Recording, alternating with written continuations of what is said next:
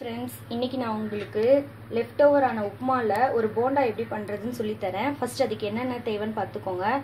Left ஓவர்னாலும் okay தான். நீங்கள் இப்போவே ரெடி பண்ணி வச்சுருந்து ஓ- ஓ சுடணுனாலும் நீங்கள் எப்படினாலும் நீங்கள் ட்ரை பண்ணிக்கலாம். ஃபஸ்ட்டு அதுக்கு உப்புமா எடுத்து வச்சுருக்கேன். பச்சை மிளகா இது வந்து இட்லி மாவு. இருந்தால் எடுத்துக்கோங்க இல்லைன்னா விட்டுருங்க. அடிஷ்னல் தான். அப்புறம் உப்பு எடுத்து வச்சுருக்கேன். இது வந்து வெங்காயம் ஒரு பெரிய வெங்காயத்தை துண்டு துண்டாக நறுக்கி வச்சுருக்கேன். இது வந்து கொத்தமல்லி கருவேப்பிலை ரெண்டுத்தையும் பொடிசாக நறுக்கி வச்சுருக்கேன். இது சோடா மாவு. வேணால் யூஸ் பண்ணிக்கோங்க. வேணான்னா விட்டுருங்க. இது இதில் வந்து க அரிசி மாவு ஒரு டூ டேபிள் ஸ்பூன் கோதுமை மாவு ஒரு டூ டேபிள் ஸ்பூன் கார்ன்ஃப்ளவர் ஒரு two two two table spoon add பண்ணியிருக்கேன். இப்போ மொத்தத்தையும் மிக்ஸ் பண்ணி ஒரு போண்டா பதத்துக்கு எடுத்துகிட்டு வந்துருங்க அதை. நான் எப்படி மிக்ஸ் பண்ணுறதுன்னு காமிக்கிறேன் உங்களுக்கு. ஃபஸ்ட்டு ஒரு பவுல் எடுத்துக்கோங்க. இப்போ நான் மிக்சிங் பவுல் எடுத்துட்டேன். அதில் வந்து ஃபஸ்ட்டு வந்து உப்புமாவை ஆட் பண்ணுறேன்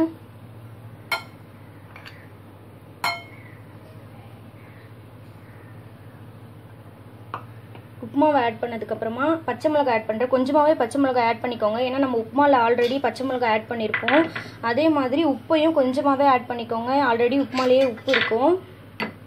கொத்தமல்லி கருவேப்பிலை. அடுத்தது வெங்காயம். வெங்காயமும் கொஞ்சமாக ஆட் பண்ணிக்கலாம். ஏன்னா உப்புமாலேயே நம்ம போட்டிருப்போம் வெங்காயம். அதுக்கடுத்தது அரிசி இட்லிக்கு அரைச்சி வச்சுருக்க மாவு. இட்லி தோசை எந்த மாவுனாலும் நீங்கள் ஆட் பண்ணிக்கலாம். அதுக்கு அடுத்தது இந்த மை கோதுமை மாவு கார்ன்ஃப்ளவர் அதெல்லாம் ஆட் பண்ணியிருந்தேன் இல்லையா? அதை அப்படியே ஆட் பண்ணிக்கிறேன். ஆட் பண்ணிவிட்டு இதை ஒரு போண்டா பதத்துக்கு வர அளவுக்கு மிக்ஸ் பண்ணிக்கோங்க. கொஞ்சம் தனியாக இருக்க மாதிரி. நான் அதை போண்டா பதத்துக்கு பசஞ்சு வச்சிட்டேன். இது இந்த அளவுக்கு இந்த பதத்துக்கு இருந்தால் போதும். ஸோ இது ரவுண்ட் ரவுண்டாக ஷேப்பாக அழகாக வரும் போண்டா. இப்போ வாங்க ஆயில் ஒரு பக்கம் ஹீட் ஆகிட்டுருக்கு ஸோ ஆயிலில் ஃப்ரை பண்ணி எடுக்கலாம். ஆயில் ஹீட் ஆகிட்டு ஸோ இப்போ ஆயில் ஹீட் ஆகிடுச்சா இல்லையா? நம்ம ஆல்ரெடி மிக்ஸ் பண்ண மிக்ஸிங்கை கொஞ்சமாக ட்ரை உள்ளே போட்டு பார்க்குறேன் ஸோ உப்பி மேலே வருது. ஸோ ஆயில் வந்து ஹீட் ஆகிடுச்சி ஸோ இப்போ குட்டி குட்டியாக போண்டாவாக போட போகிறேன் சின்ன சின்ன போண்டாவாகவே போடுங்க.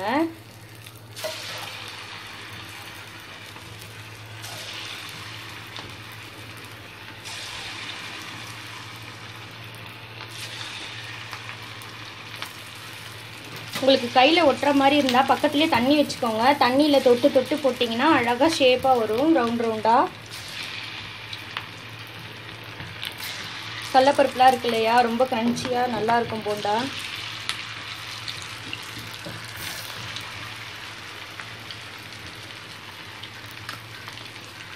கண்டிப்பாக எல்லாரும் வீட்டில் ட்ரை பண்ணி பாருங்கள் ட்ரை பண்ணிவிட்டு கமெண்ட் பாக்ஸில் கமெண்ட் பண்ணுங்கள் ஸோ ஆயிலில் நல்லா ஃப்ரை ஆகிட்டுருக்கு கலர் கலர் இன்னும் கொஞ்சம் வரட்டும்.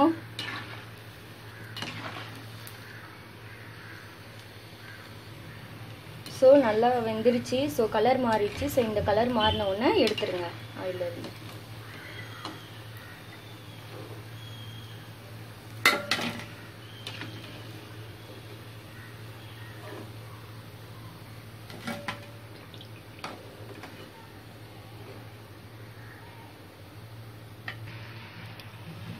எம்மியா? போண்டா ரெடி ஆயிடுச்சு. எங்க வீட்ல ஒரு கிட் அதை டேஸ்ட் பண்ணி சொல்ல போறாங்க. எப்படி இருக்கு? ட்ரை பண்ணி சொன்னீங்க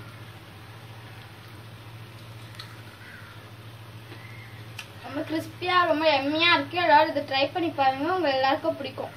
என்ன என் நான் சொல்லி கொடுத்த போண்டா உங்களுக்கு பிடிச்சிருந்துச்சுன்னா என்னோட சேனல் நேம் ஹேமந்த்ஸ் விஷன். என்னோட சேனலை சப்ஸ்கிரைப் பண்ணுங்க லைக் பண்ணுங்க ஷேர் பண்ணுங்க. பாய்